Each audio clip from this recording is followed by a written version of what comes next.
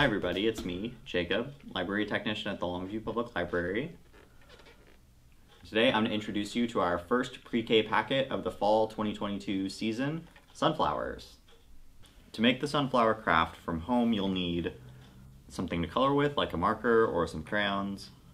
You'll need a pair of scissors, some tape, some glue, and a pencil.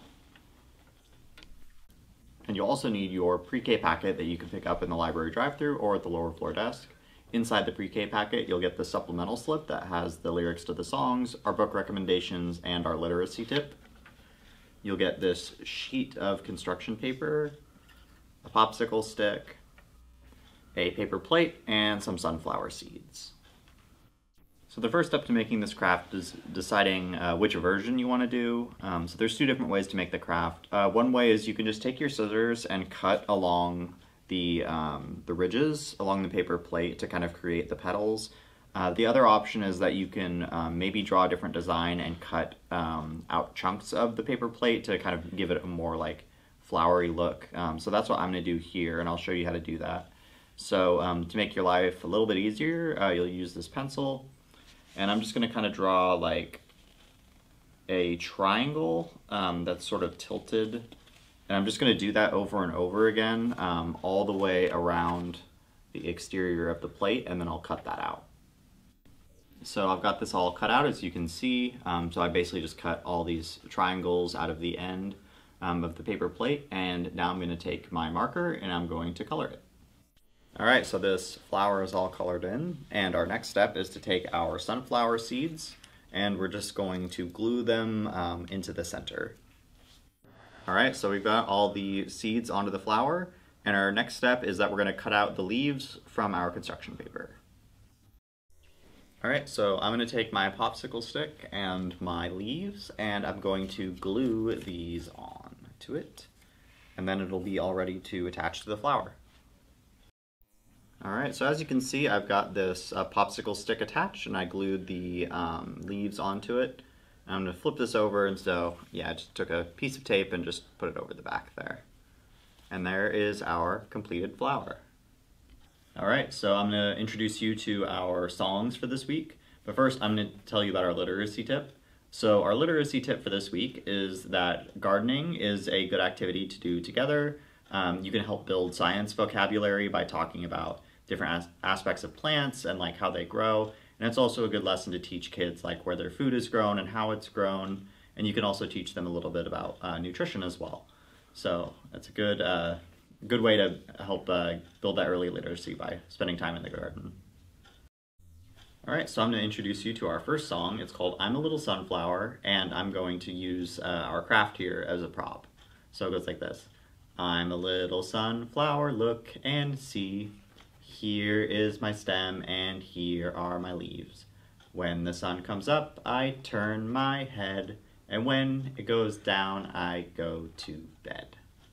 So this next song you can do with a scarf or you can do like um, an old rag or a shirt or something like uh, if you don't have one of these types of scarves, you can use whatever you have on hand. So to start, you're going to roll it up in your hands like so, where you can't really see it and then the lyrics are this. Here is a green leaf, and here is a green leaf, and that you see makes two. This is a bud that makes a flower.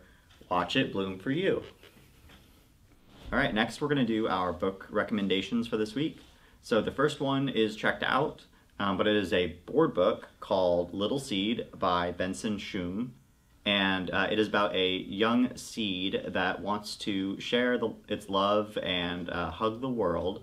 And so it travels all around the world meeting different creatures and finding out different ways uh, to show its affection for them. Next is Sunflowers uh, Girasoles um, by Gwendolyn Zepeda. And um, so this is a bilingual um, picture book about this girl who um, is gardening with her grandfather and as she's gardening these different vegetables and such, she also starts uh, working on sunflowers and realizes that she can give them um, both the flowers themselves and the seeds as gifts to her friends. And she can't wait to go and garden with her grandfather some more. Next is The Tiny Seed by Eric Carle, and this is a classic, um, and it's about the life cycle of this flower as it transitions from a seed to a beautiful flower here. So, um, one of the things I like about this book is that it uses Eric Carle's classic style of um, his very bright, distinctive colors and illustrations. And it's kind of a longer picture book, so it might be for older kids, um, but remember that you don't have to read um, longer picture book all at once. You can put it down and uh, read it another time if we start to get antsy. Another book that we have that's unfortunately checked out is called A Seed Grows by Antoinette Portis. And it's a picture book about the life cycle of a sunflower that um, covers some scientific terminology, um, especially in the glossary in the back. Um, but it follows the life cycle of a particular uh, sunflower as it goes from seed to growing to full maturity. And last, we have this nonfiction book called Sunflower by Kate Riggs.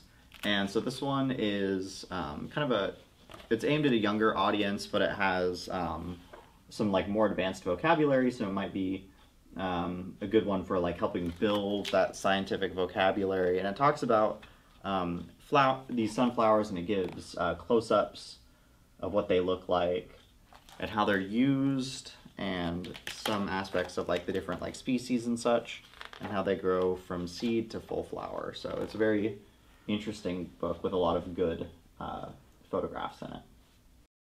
Thanks everybody for watching this video. Remember, you can pick up your pre-K packet either at the lower floor desk or in drive-through, and we hope to see you soon. Um, remember, we're doing story times now uh, at 10.30 on Mondays, Tuesdays, and Wednesdays and we'll have more pre-K packet content for you uh, every other week.